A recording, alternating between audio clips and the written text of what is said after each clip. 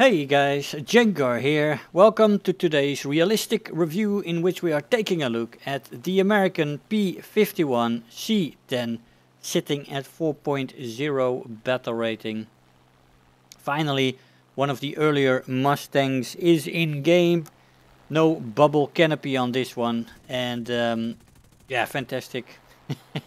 the red tails are in town, baby. Yeah. Yeah, fantastic looking plane. Uh, for me, I don't know if you know this guy, but uh, I follow Kermit Weeks. That is uh, an aviation enthusiast with money, and he has a huge aircraft collection. And he has one of these things. I'm not, I'm not sure if the same uh, call sign on it, but uh, he has a a P51C. I don't know if it's C10, but um, fantastic looking plane. And now we have it in game. I'm very happy that we have it. I had a lot of joy in my first few flyouts in it. We did a lot of testing in it and uh, I've got the review ready for you today. Uh, so let's have a look at this plane. What is the maximum speed of this thing? At sea level without WEP, she can go up to 579 kilometers an hour and with WEP 600 at 4500 meters, she'll go up to 525 without WEP and 533 with WEP. And finally at 6500 meters, you can take her to 478 without WEP and 495 with web. Now that's a, a little bit less good than the other uh, P51s, especially at altitude. This plane is just not as good. it is better at lower altitudes and uh, that is where she really shines very fast at the lower altitudes. Is the dive speed anywhere near the other ones? Its uh, top speed in the dive is 815 before she redlines and 900 plus before she rips apart. I did not get to rip her. Dove with her several times from high altitudes. Um, got up to 880, 890 and one time I didn't see quite 900 but uh, I was very close to 900. So the last bit of the dive she slows down in the acceleration. Uh, but um, yeah, so no defined rip speed there. But it lies somewhere above 900 kilometers an hour. Probably pretty close because at most planes they have a difference of 100 kilometers an hour between the red line and the rip speed more or less. So I think she can rip anywhere from that moment. Uh, she can probably rip slightly before that if you make heavy maneuvers, pull a lot of G's um, before you uh, before you get to the 900s. Control stiffening in this plane is almost absent. She is sluggish when slow, uh, very sluggish, uh, below 400 kilometers an hour. Between 400 and 500 kilometers an hour, she is average and then in the roll rate and at above 500 she becomes good in the roll rate. Now that means for the control stiffening that she only becomes better up to about 700, 750. At that range you get a little bit of a tick in the roll rate and she compresses just slightly. It is almost not um, noticeable but it, there is a small tick there and that's the only tick until you get to the rip speed. So yeah, she stays very functional at high speeds in the roll rate and thus she has good control in a dive, which is fantastic because of course this plane is best in the boom and zoom role or the energy fighting role, which she can also perform very well. She's not quite a turn fighter, but she's not half bad in turning, especially when she's fast. Um, so yeah, the 750 uh, is the only control stiffening tick that is bad. For the rest, from 0 to 750, she only becomes better. The stall speed lies somewhere around 145 kilometers an hour, which is, uh, well, slightly above average. This is nice. And the firepower is actually the one of the weak points in this plane. Uh, we do have the P51A, which is an earlier model, and uh, that thing is also, well, four guns, four 12.7 millimeters. If I remember correctly, the, the plane that Kermit Weeks has in his hangar has six 50 cals. if I remember correctly. I would have to recheck his video, but uh, so there is models with 6 50 cals. At 4.0, having only four 12.7 M2 Browning machine guns with 300 rounds. Now those 300 rounds give you a very good ammo load, uh, so the load is good, but um, yeah, as I said, the firepower is actually below average, because many planes already have 420 millimeters or 820 or 8 uh, 12.7s, 850 cals or 650 cals. So 450 cals is definitely not um, not above uh, par. Absolutely not. The ammo load though is above par and it's very good.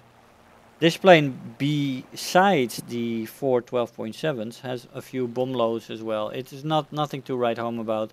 It's just a duo set of bombs from uh, 100 pounds to 250 to 500, I believe it was, from the top of my head. So that is, um, well, it has bomb loads, but I, I wouldn't make this a, a ground pounder if I was you. He's not made for that. In the performance department, she uh, performs uh, quite good, far above uh, average. The acceleration in a straight line is good, and in a dive it is actually very good. She does pick up the speed in a dive very nicely, and uh, that is very good for her energy fighting role, as you gain back your energy quite fast that way. The uh, energy retention in the horizontal is excellent. So when you get out of a dive, when you pull her straight, she can hold that energy very well, especially with WEP.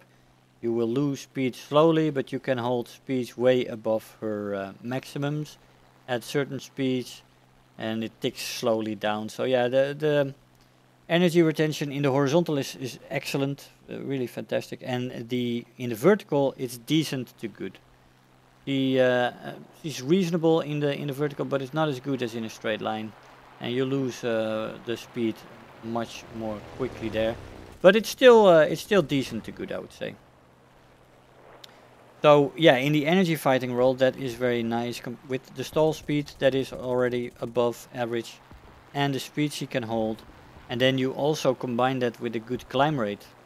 This uh, P51 feels very nice in the climb rate, and uh, not that she can compete with the top climbers out there. I, I'm not saying that the 109s and the people with an air spawn and there's a lot of even the G55 I think can very well compete slightly better maybe even than this one but for allied planes this climb rate is uh, almost uh, exceptional.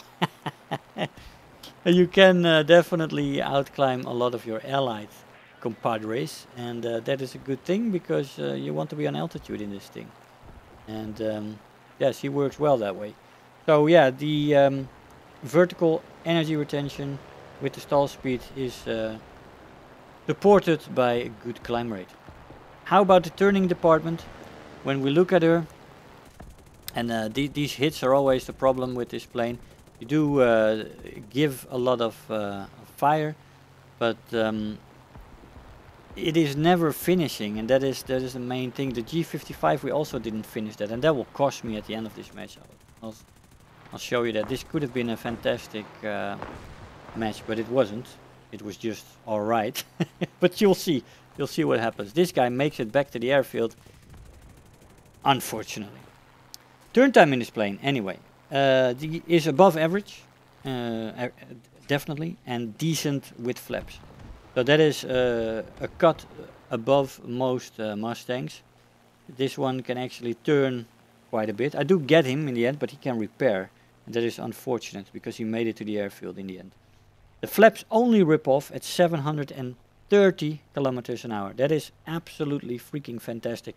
That is only 80 kilometers below.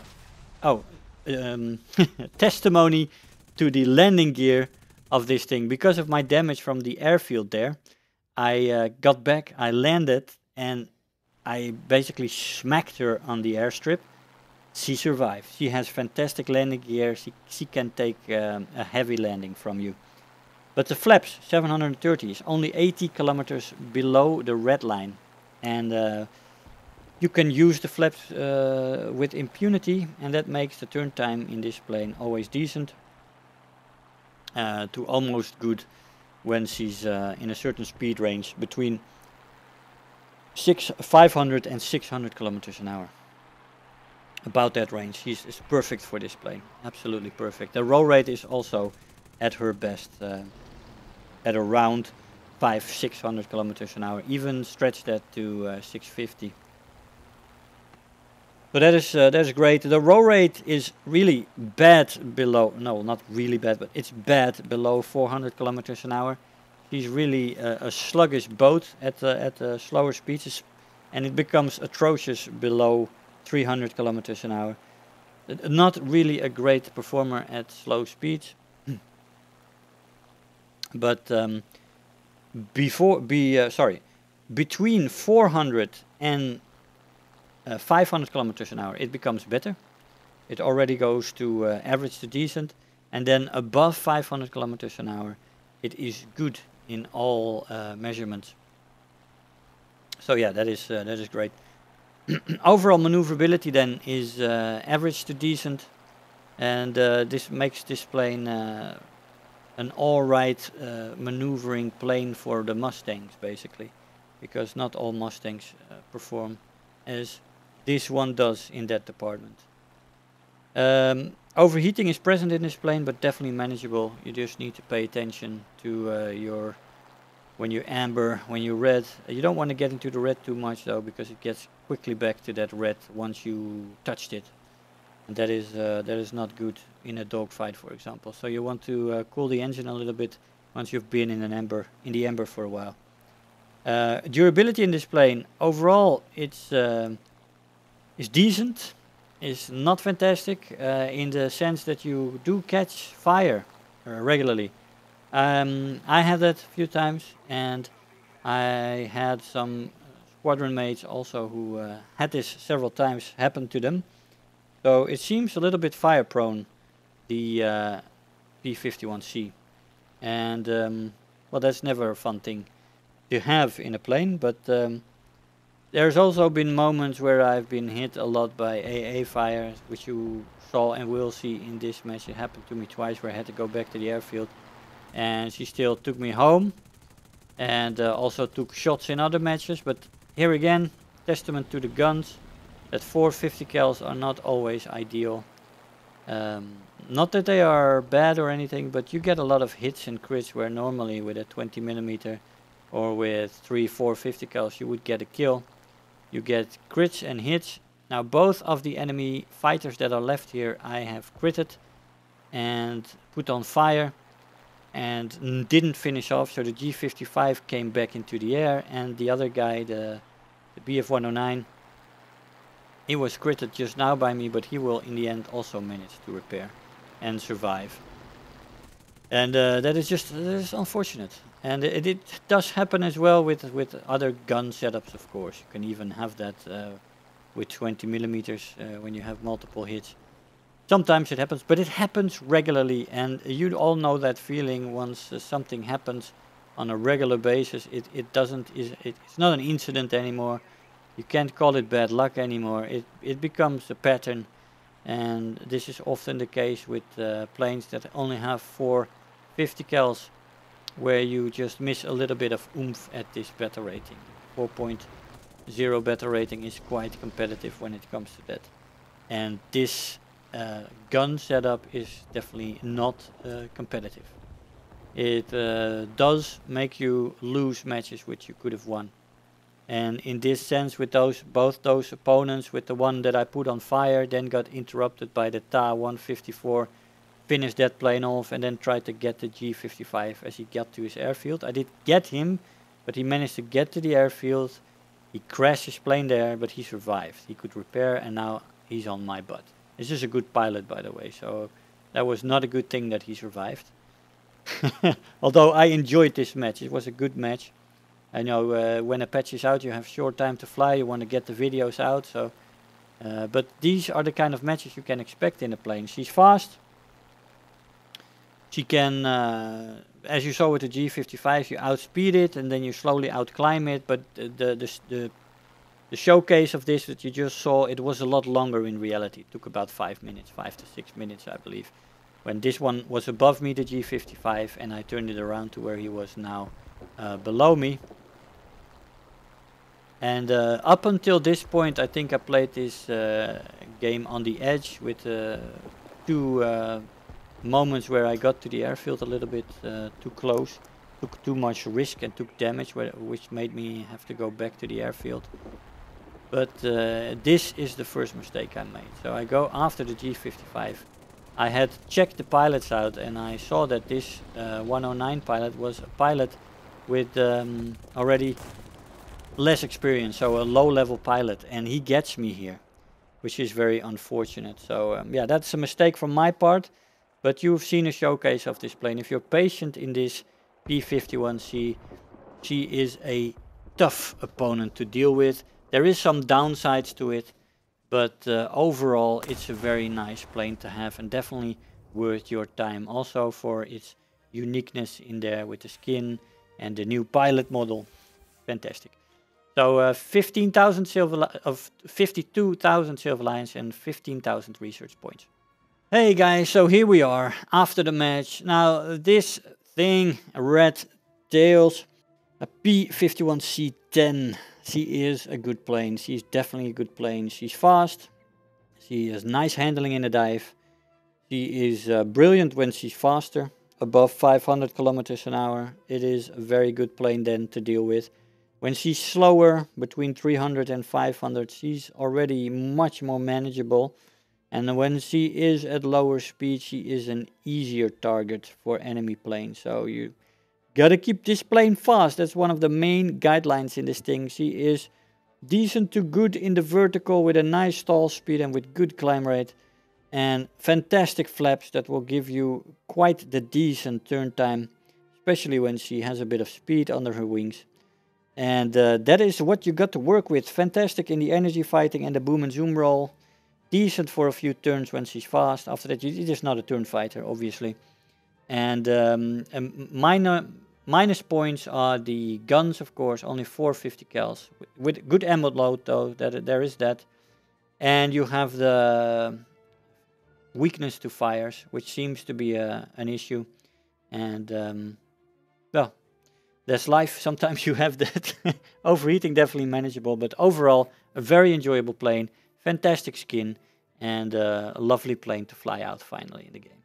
Guys, I hope you enjoyed the video. I want to thank you all for watching, and I will see you guys next time. Bye bye.